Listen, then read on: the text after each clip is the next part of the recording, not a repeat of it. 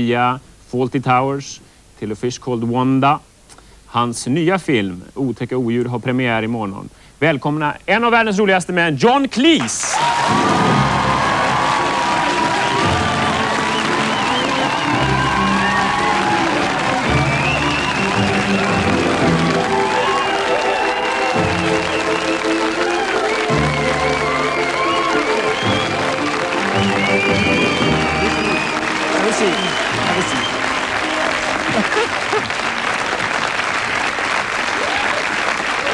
Worrying, you They like you here. Yeah, they like me so much better than they do in England. Oh, it's better than in England. Much better than in England. Eh, John och jag har hunnit snacka lite grann redan. Han har berättat att de gillar eh, honom bättre här i Sverige än i, i England. Now that is uh, Swedish for they like you better here than in England. Oh, yeah. I just did, made a little quick. We're not translation. having any more of that. No, no, Um, no, no more. What did you call it? Swedish? Swedish. There won't be any more of that. Have you learned any Swedish during the days? Uh, yes, I learned how to say, Hey, willkommen. Ah, välkommen. Oh, välkommen. Okay. Yeah, Hey, välkommen. that's good. Okay. Do you want to teach me anything else? Eh, nothing more. That is Okay. quite enough. Uh, this is uh, an American business uh, entertainment magazine called Entertainment Weekly. Uh, I don't know if you've seen it before. This came out two weeks ago, listing the 50 funniest people alive. And uh, the strange thing was, I thought you were going to be the number one. Not in America. N- not in America. Probably, don't that's know me that well. No, this is how really the top don't. five looked like. Uh, number one, Robin Williams. Number two, Jerry Seinfeld. Number three, Roseanne Barr. Jim Carrey. Albert Brooks. They like you. They We've talked stuff. about that already, haven't we? John Cleese kom på number 12. Number 12, that's yeah. not bad. Together with the other Pythons. Ah, Ah, so it's sort of like a, mhm. with that lot? with that. it's strange. It's funny because I'm so much better than they are. We can discuss that later. But I, I would like to, because I'd like to discuss humor with you, Yeah. and I would like to know uh, which one of these five is your favorite? Uh, Robin Williams and uh, Jerry Seinfeld's very funny. I like that show a lot. Robin Williams is wonderful, but he's almost best doing his stand-up routines. Okay. Uh, Albert Brooks is funny. Do you remember Broadcast News? Yeah, Yeah. It was a that's great movie, wasn't it? You remember he's this guy who's very bright. He's a really good journalist, but the only trouble is he sweats when he gets anxious. This is a picture of Albert Brooks. We, maybe we can show it to the people who haven't seen him before. now this is his new movie, isn't it? Uh, I think so too. It, it's a, he's an American uh, uh, actor that we haven't seen very much in Sweden. No, he does. Uh, he doesn't do an enormous amount. I think he did a he did a movie a few years ago that was set in heaven. Mhm. That was quite good, and pr- prior to that, he'd done broadcast news. He's very good. Mm-hmm. Jim Carrey is a brilliant technically, Mm-hmm. but I don't find Jim Carrey funny. I kind of watch him and I think, God, that's clever. Mm-hmm. But when I went to see Dumb and Dumber, Yeah. I thought the other guy, Jeff Daniels, Was much dumber. Hysterically funny. No, really, really funny. In fact, I can't remember the last person who made me laugh that much. And I, the, the whole cinema was laughing at Jim Carrey, and then I would laugh at Jeff Daniels. It was really strange. Uh, how would your what would your list look like if you could? Oh, I would have Steve Martin up there. Mm-hmm. He came Uh, like 26 or something. Really? Yeah. It surprised It's amazing. Yeah. No, I think, I mean, Steve does two things. When Steve writes his own stuff and gets involved in the script, then he's wonderful. Mm-hmm. But when he's just as an actor, then obviously it depends on how good the script is. So the stuff I like best with Steve is when he's involved in, in the scripting of it. Mhm, Uh, Woody Allen's funny. Yeah, he was up there. Too. And then there are one or two English people that are just nothing like as well known as these people. But there are two terrific women called Jennifer Saunders Oh yeah, and Dawn French. We love them Uh, too. you do? That's and Flanders. Yeah, they're really good. Why are they applauding? Because they're really good. And also, it's the nicest thing. It's the first time I, in living memory, mm-hmm. and I, as I'm 57, I can say that pre- pretty authoritatively, that it's the first time that I think those two women are funnier than any of the men. That's good. Yeah, it's really good. It's the first time it's happened. Helt hysteriskt in Swedish. Hmm? Hej, välkommen, helt hysteriskt. Now you Helt hysteriskt. I worked with humor as well, not as long as you have, but No, I have a few long. theories about that, and I'm sure you uh, also do. Uh, is there anything that you would say is always works, something that always is funny? No.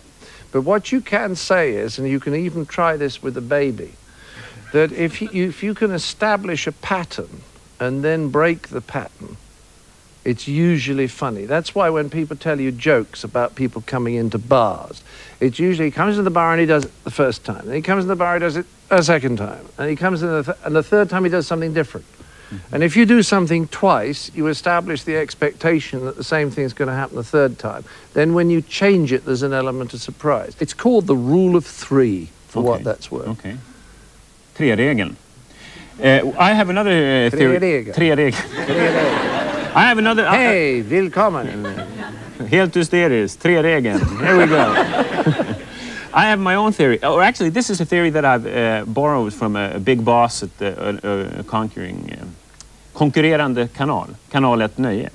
They say that these three, these three things are funny. Yeah, Men dressed in women's clothing, yeah, that's funny. hats, Hats are funny. and repetition, what you were talking about. yes, that's very good. So you would agree on that? Hats are funny. They've based all their Saturday night entertainment for 20 years on those three components. I, uh, I, Those, uh, that's the competition. Let me ask you this. Have you noticed, you've worked with your humor all around the world. Uh, is it that some jokes that work in Sweden don't work in America at all? I wish I understood it better.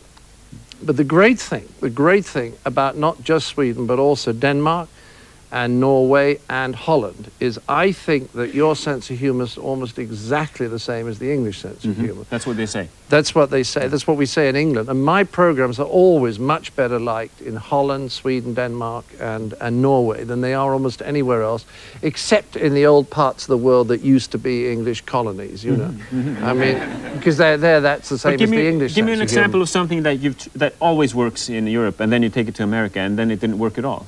Well, it, you notice it more in, in uh, a dinner table conversation. I mean, I am married to a woman from Oklahoma. She says she's from Texas. Uh, but that's because people from Oklahoma think that it's sophisticated to be from Texas. All right. Now, she That went straight over my head, I'll tell you. Straight over my head.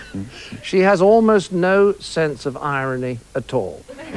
You know, I can talk any nonsense to Alyce Faye with a straight face, and she'll believe me. I mean, we were driving once across um, uh, Hyde Park in the car, and I had the kids in the back of the car. Uh, I've got two, and she's got two, and I was saying to them, I can get Alyce Faye to believe anything. And she was saying, oh, oh, no, you can't. No, that's Which not, of the- used to be, but no, you can't. And I said, oh, my God, look at that 22 stone man on pogo stick. And she said, where? Where? Which of your wives was this? John Cleese, you Which have one so, was so many wives. Uh, it was about number 19, I think. No, Oh. uh, three. It was number three. You're on in Yeah, your that's the one I get on with. Okay, Yeah, right. that's good. uh, let me try some of our humor on you then. A couple of weeks ago, um, we had something we called the fruit of the week, and that looked like this: Blodig apelsin. Blood orange. She says. Now, is that funny? That's very silly. I like That's silly. that. Yeah. How about you? Uh, the th- thing is th- that repetition makes it funny. So please, if you you just announced uh, and just let's check one more time if All right. it what's the fruit of the week. All right. Ladies and gentlemen, the fruit of the week. Blodapelsin. There you go. It's still blood orange. It's funny. Isn't That's it funny? I like Yeah. I remember when I first got to America, I discovered there was a club there, and it was called the Cheese of the Month Club. Don't you love that? Yeah. And I found when I was in uh, Wisconsin three weeks ago, I have to tell you this on the subject of cheese, there was a big store in. Wisconsin, and it was the name of the store, and then it said cheese and fireworks. That's good. And I could imagine all these people from Wisconsin going in and saying, um, a pound of Emmental and two Roman candles, please.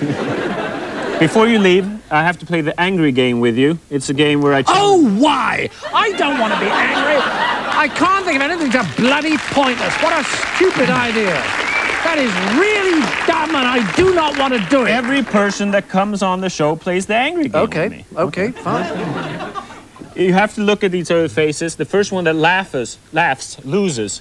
Do you understand this? Mm -hmm. Have you played this before? No. Okay, the angry game starts now.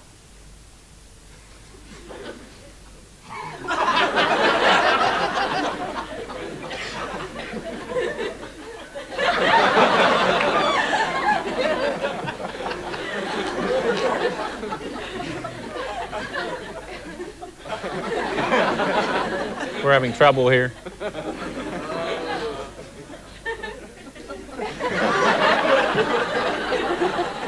Want to call it a draw, this? You've turned into one of those animals that don't... this is John Cleese. Thank you for coming on the show. John Cleese.